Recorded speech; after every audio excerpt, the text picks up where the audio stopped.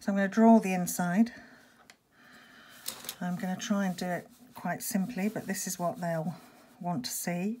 So the form, again, let's look just for shape first of all, and the very rough shape is, it's not a rectangle, but I'm basing it on those two lines, which I can, you can see are not parallel. And then we'll just put a very stark line on top there, and then that comes off at an angle, and then we can create that form. So we have a stem which is going to bend round. We've got that line as a kind of guide. And then once we've cut the pepper, I can see this shape in here, which is leading to the bulbous bit here. Now, I'm not worried too much about the accuracy at the moment because I'm just really sketching it in. And then these curves here are really evocative of a uh, pepper. Those are the things that tell us what it is. Now this line here is actually quite the curve, so I've got that as a guide. I'm going to curve it out and curve it back in again.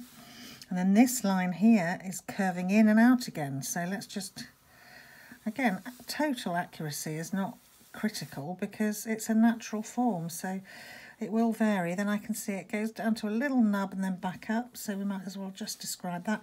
All these little details are the magic that makes the drawing work in the end and then that is a sort of that sort of thickness now this line isn't going to stay as a line it's not important in that way but I'm going to put it in as a guide almost comes like that and this form here joins up with that and there we go then we get our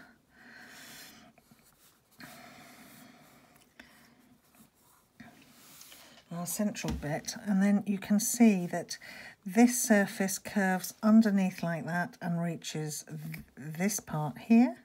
So we'll just pop that in. We have these seeds which are starting about there because we have this part there so I'm just going to put it in as a line at the moment and then I'm going to just try and describe some of these seeds I'm not going to fuss too much. I'm just putting some shapes in as I see the shapes, like this.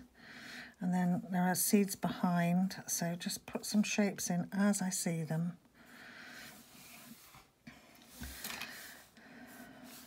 And then if I look at this stalk, so we've bent it round there, and it obviously curves at the top, and then here it comes back. And then we have a plane there again which is where it was cut. And then at the bottom of the stalk, this is going to come up like that. And then on this side here, we have actually the surface, so I might as well just draw that in. I can't see it on the other side.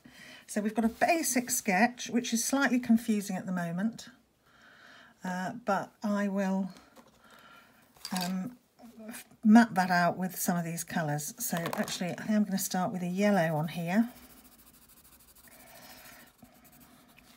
And I'm going to very quickly put in, actually I'm not going to put in a red, I'm going to put in an orange because that red really is very orange. So when I go over it with the red in the time lapse, it will become much, much stronger. Um, this red is almost a purple because it's in shadow. But the most important thing is going to be this shadow here, this area. That is what's going to give this drawing the depth and is going to make us understand what's happening. So I'm going to start with red as underpainting because the red isn't going to be the thing that actually counts. It's going to be the shadow. So I'm going to first of all go over it with purple and then I'm going to use a brown and then we'll probably go back over it in red in the end just to tie it into the red tones. But that shadow is going to be very important and the shadow is darkest at the top because the light is actually getting in around here. So I'm just intensifying that there. And I'm getting the brown, I'm going to go over it in the brown to give it the warmth that it needs. That, that is going to be the really important part